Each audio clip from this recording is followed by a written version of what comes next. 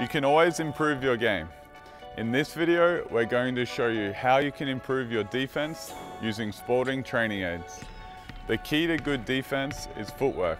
Using the lateral strength resistor will strengthen key muscles that help lateral movement.